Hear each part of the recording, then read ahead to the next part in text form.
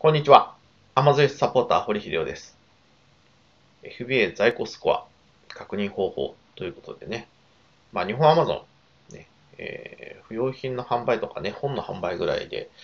積極的に取り組んでる会員さんは、まあ、そんな多くないんですけど、日本 Amazon にもね、えー、FBA 在庫スコアと、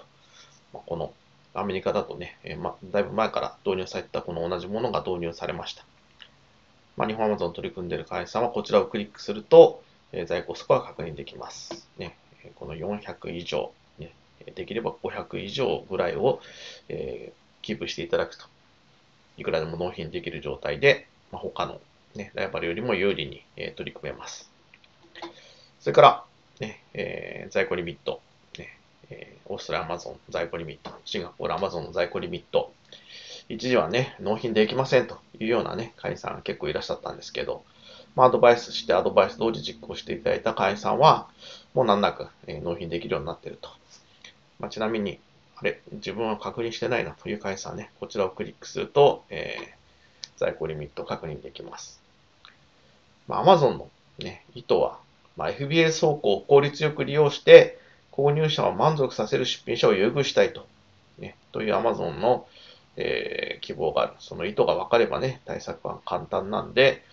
まあ、その、ね、え、そういうことだなというのをね、基づいたアドバイスをしてます。で、アドバイスはね、え、当然、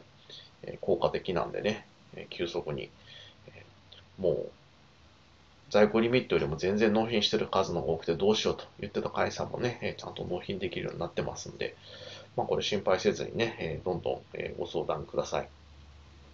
まあ、かなり成功してますし、在庫リミット多い会社だともう1907とね、えー、いうようなね、えー、すごい数になってる会員さんもいます。そんな形で、今ね、このコロナ騒動でね、アマゾンの利用者すごい増えてて、倉庫がパンク状態です。えー、だからね、もう倉庫を無駄に使う会員さん、あ無駄に使う出品者にはね、えー、FBA 使ってほしくないというね、Amazon の意図がありますんでね、FB を使って売る商品というのは、回転のいい商品というのにね、まあ、しばらく絞って売っていった方がいいというか、まあ、そうしないと、ね、FB 使えなくなってしまうというのが現在の Amazon の状況なんでね、まあ、それに合わせた商品構成、それに合わせた販売方法、それに合わせたね、えー、対応をサポートしてますんで、ご相談、ご報告、確認、ね、えー、どんどん、え、してください。お待ちしてます。アマゾンサポーター、堀秀夫でした。